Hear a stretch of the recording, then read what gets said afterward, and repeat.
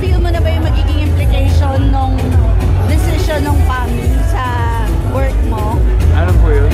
Yung, kasi diba yung ano ng family to inhibit yung mga artist oh, yeah. Nila. I'm, I'm, I'm, mo willing na ba to, I'm willing to wait. Maganda lang ng pakalaw, uh, magpapaganda lang ng katawan. Papakita ko sa kanila na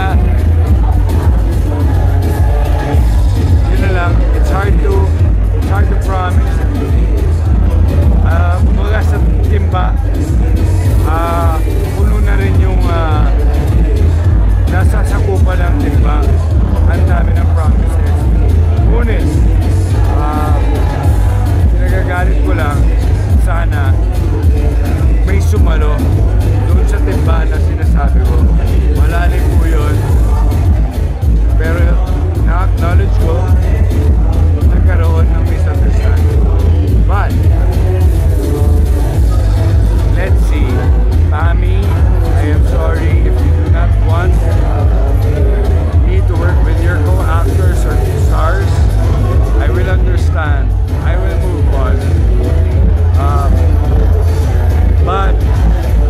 po maging biased po sila at alamin, alamin kung ano talaga ang katotohanan.